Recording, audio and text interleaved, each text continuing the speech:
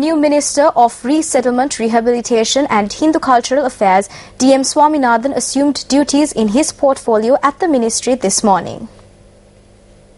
The ceremony was held at the Ministry of Resettlement, Rehabilitation and Hindu Cultural Affairs with the participation of several dignitaries.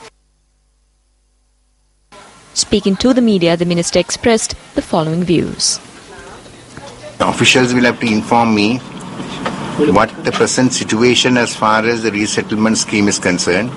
It doesn't matter to me what our political differences are, but we have to see that we fulfill our obligation because the people are waiting this, and especially the resettlement ministry, reconstruction ministry is deemed to be a very important factor, especially the northerners and the easterners, and also the upcountry people who have suffered so much due to so many calamities. In the future, I am going to discuss this matter. I have discussed certain issues for the last two days. In a couple of weeks' time, in a week's time or 10 days' time, we will start our program very soon.